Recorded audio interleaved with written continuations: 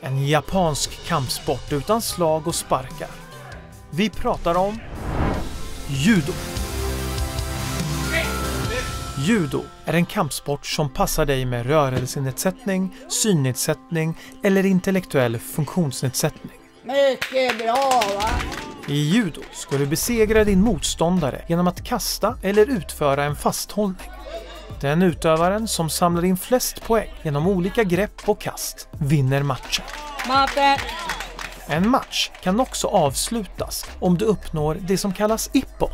Det kan innebära att motståndaren inte klarar att ta sig ur ett grepp på 20 sekunder. Ippon. Alla utövare är klädda i en judodräkt som består av en jacka, ett bälte och byxor. Judo är en idrott med mycket rörelse och teknik.